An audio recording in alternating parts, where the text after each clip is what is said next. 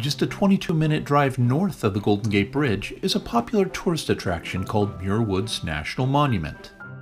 People come from all over the world to view its coastal redwoods. The only problem? It gets crowded. Very crowded. 1.2 million people a year crowded. However, if you're willing to drive 36 minutes versus 22, there is Samuel P. Taylor State Park. That's just as impressive. Not only will you avoid the crowds, not only will you enjoy picnicking, but you can also camp under the majestic coastal redwoods.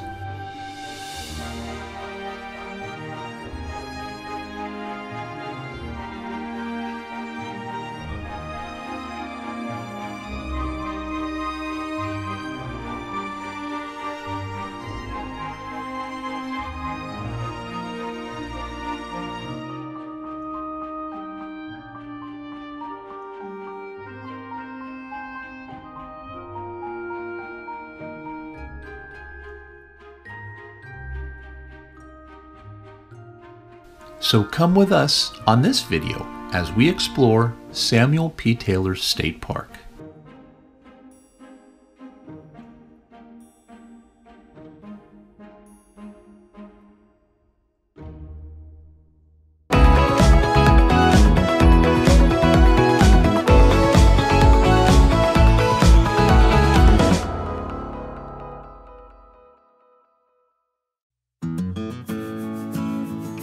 Morning. Absolutely beautiful here at Samuel P. Taylor Park. These camping spots are just really awesome. Absolutely love it here.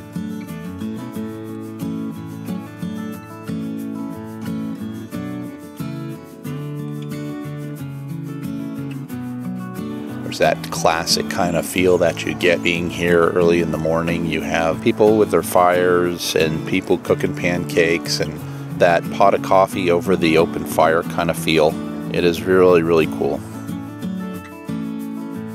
Get a classic uh, Allegro. It's just really interesting always to see how people like to camp. Here's some quick history for you. The park is named after Samuel P. Taylor, a 22 year old that came to California in 1849 in search of gold.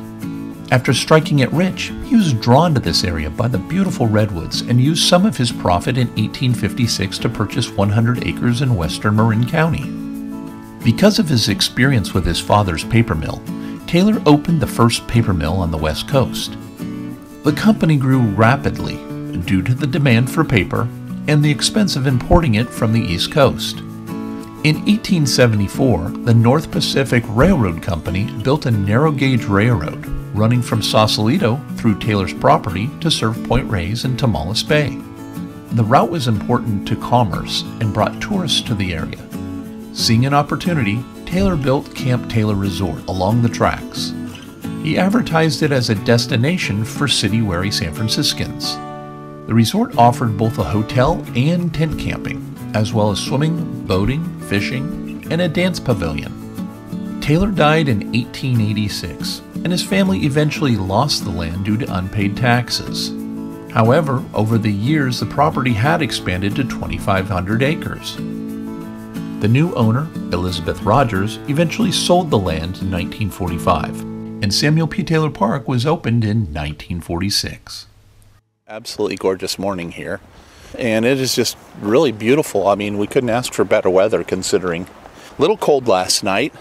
I'd say, what, it probably got down 40, yeah. maybe 42. Definitely not freezing, but definitely below 50, I would say.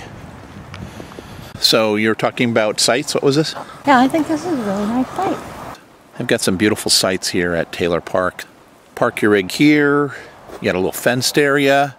Here's your picnic table, fireplace. Here's another site next to it. So some are closer to than others and some are uh, nicely spaced. Uh, this one here, you could actually parallel your rig and then uh, use that as the lower portion. And then of course you're in the beautiful redwoods here. Absolutely gorgeous. Right now because of the uh, winter. This area is closed, but this is another place which is right down here by the river. Again, you could parallel park your RV right here and then go down where Uncle Gordy is. Uncle Gordy is demonstrating how he could ride his bike down there. Wave, Uncle Gordy! And there he goes. Oh, he's trying to get up the hill here. oh, good try. But anyway, beautiful campsites here. I remember coming down here as a fifth grader and they had rented all these spaces. I think I broke up a propane lantern. I mean, we're talking the 1970s when propane lanterns first came out. Have some uh, beautiful ferns here. Absolutely gorgeous.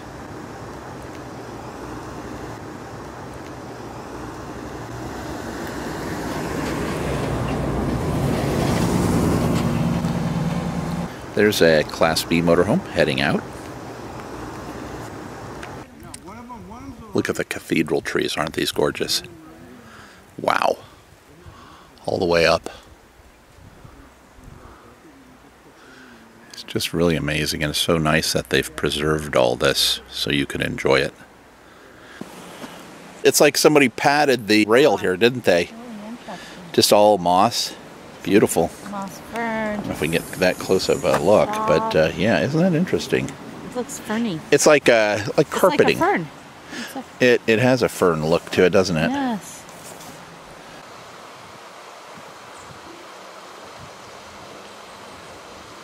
Just gorgeous. Do we see any fish? Nope. Put out the fish finder, honey, it didn't work.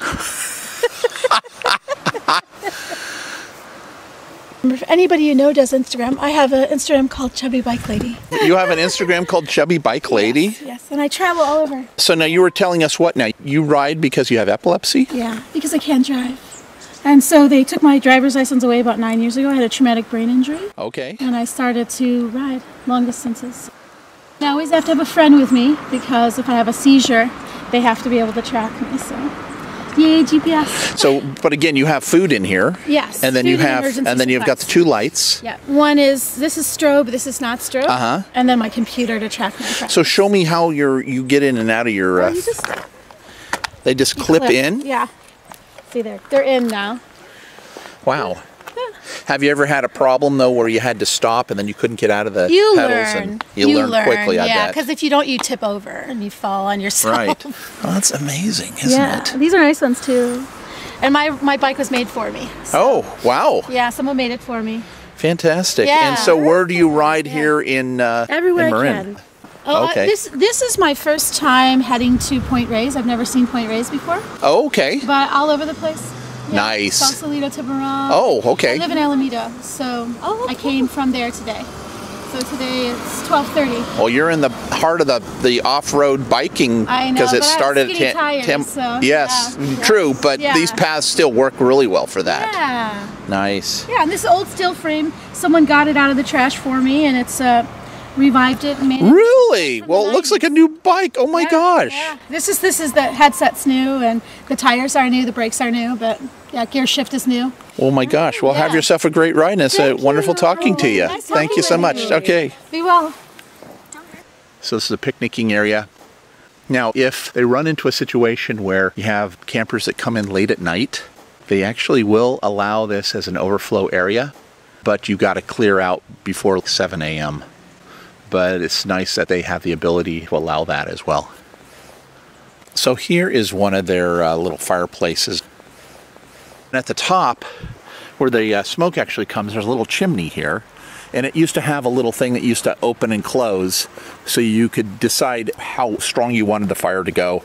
But these things have been around since the 50s and they're absolutely gorgeous. So we were going to try to go down by the water, but it says creek access is restricted to protect incubating salmon eggs.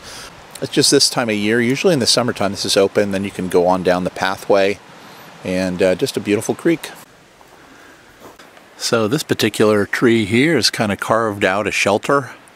You can see long, long ago there was a fire that burnt part of this on the inside, creating this uh, open area.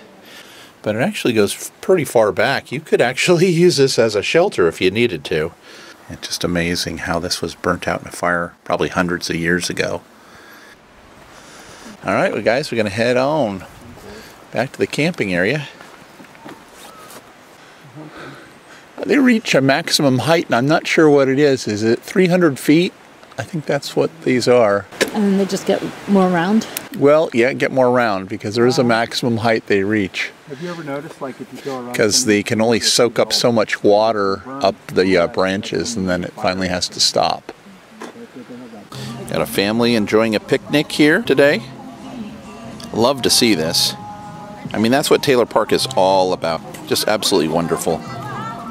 Family fun.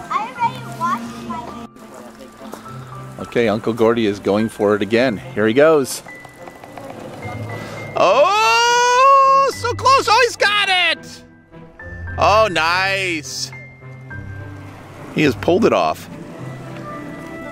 Well, this has just been wonderful. Samuel P. Taylor Park is a very special place and highly recommended. So if you get a chance, come out here. It's uh, you know thirty dollars a night, typical state park, um, and it's just been absolutely wonderful.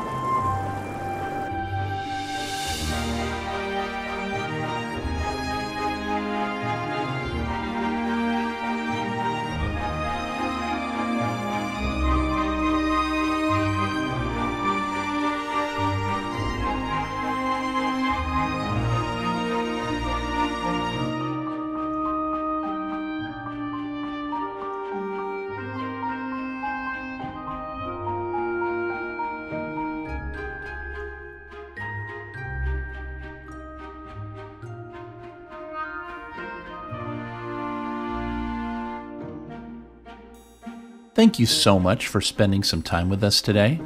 If you get a chance, please subscribe and give us a thumbs up. Thank you.